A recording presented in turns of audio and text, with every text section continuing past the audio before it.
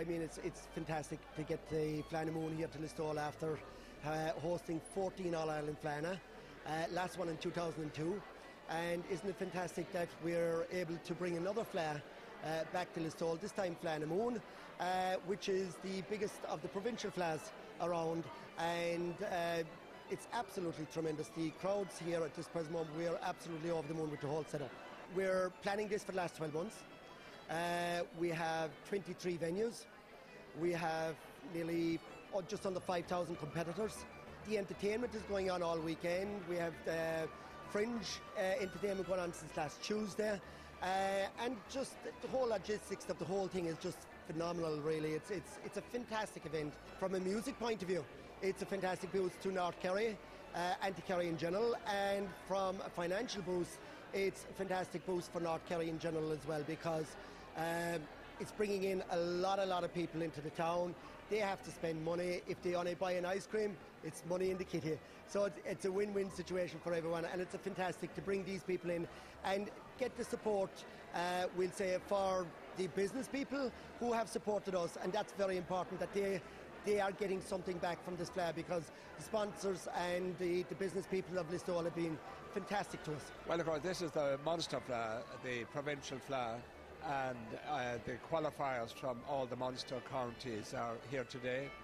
And out of that, then you get the qualifiers who will go forward to Fleadh na hÉireann in Ennis in August.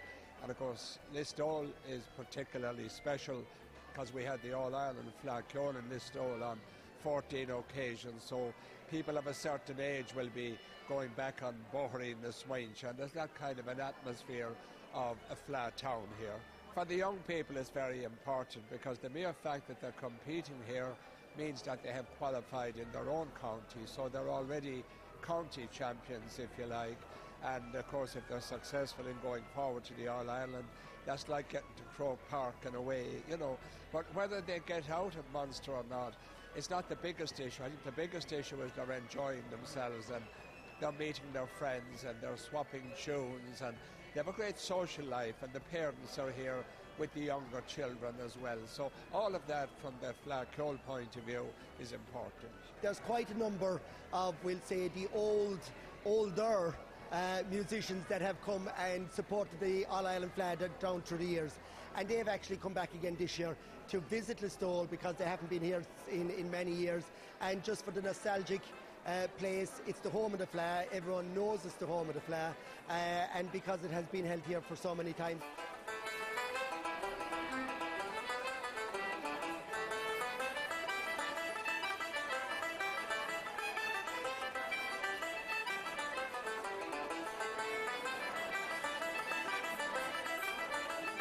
The Fleadh has always been associated with the impromptu sessions. Therefore, they go in, they play, win or lose, they come back out and they all meet up then for a session. I've often said they come straight out of a competition centre, they open the instrument cases, they sit on the windowsills and they play music. As well as that, of course, you have the whole social media uh, phenomenon at the moment. All of these young musicians are keeping in touch, not just with the Munster uh, colleagues, but they're actually being able to keep in touch with musicians they've met from other parts of the world as well. So there's a, a great global aspect to the Fleadh too. You know. To get away from all the excitement, we visited the epicentre of the Fleadh Mumhan to meet Secretary Asunta, who was hard at work.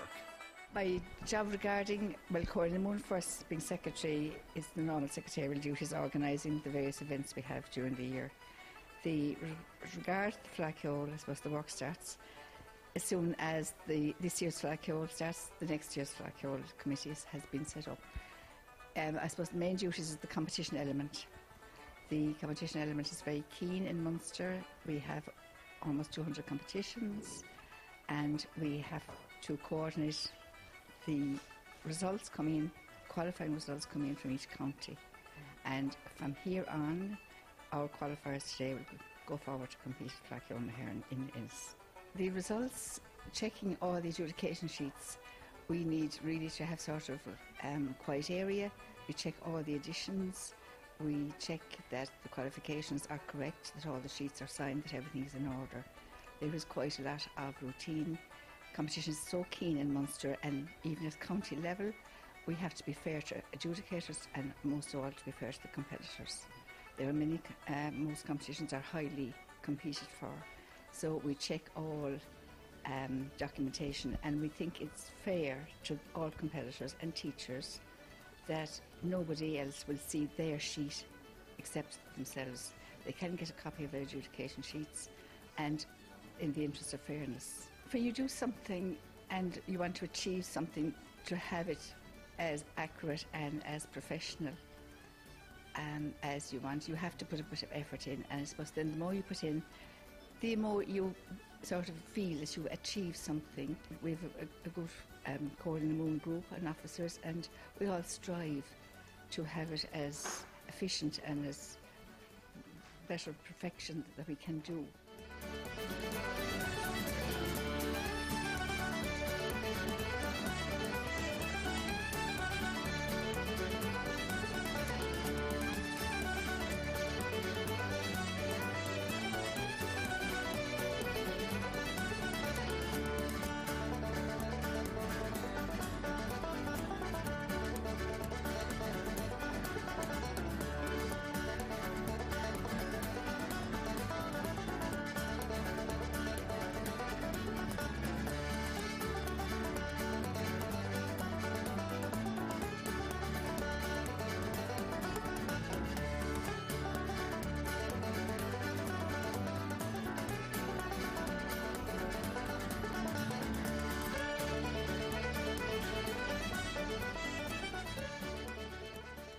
I'm late again, I'm always late. I never can be on time.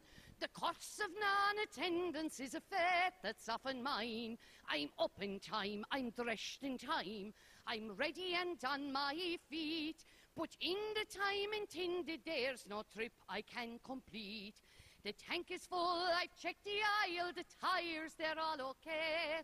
Today I'm er sure and certain that there won't be a delay. So off I set, but once again I find out to my cost I'm late for my appointment, for it seems that I got lost. So now, my fellow motorists, I offer to you advice. This sat-nav should be treated as a dangerous device. My collie nearly drowned me where the Shannon meets the sea. So I threw her out the window now. I'm late and lost but free. Thank you.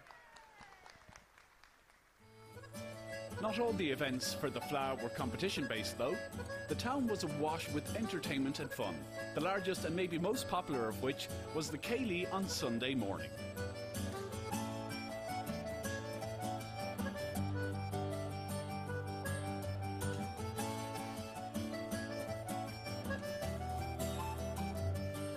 Just after coming, I'm just arriving from Cork.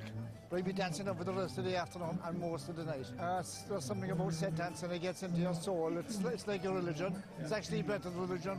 You're, you're, you're much happier after that when you set dance.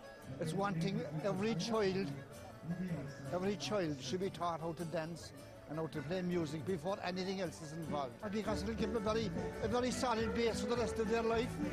It's a, music, music feeds the soul. You can't play music.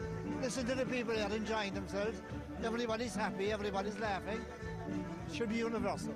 We came out for the set dancing and it's a local Céilí band, the Johnny Reidy Céilí band, so he's a huge following, huge support and it's part of um, the, the Munster Moon. I've been doing it for the last 10 years or more, uh, since my family grew up. Um, it's an outlet, go everywhere, every weekend. We go to the Great Club every Tuesday night. John Chambers was there for my first dancing teacher, and TJ Nelligan from Castleisland is there now, and they're brilliant to us. And we have a great group, haven't we? We have, absolutely. We have about six sets every Tuesday night. I haven't been dancing now in a while because of the back problem, but I'm back now.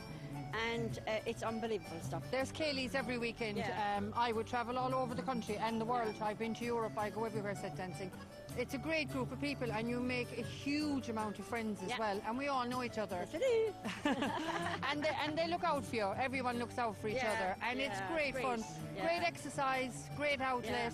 Um, it keeps the mind occupied, and it's been proved it's very, very good for things like Alzheimer because it's repetitive. You're learning steps, and the Tuesday night in the Gale again. It's great to support a local venue. and to support local teachers as well. Oh, thanks very much. And we love Irish TV. Absolutely love Irish TV.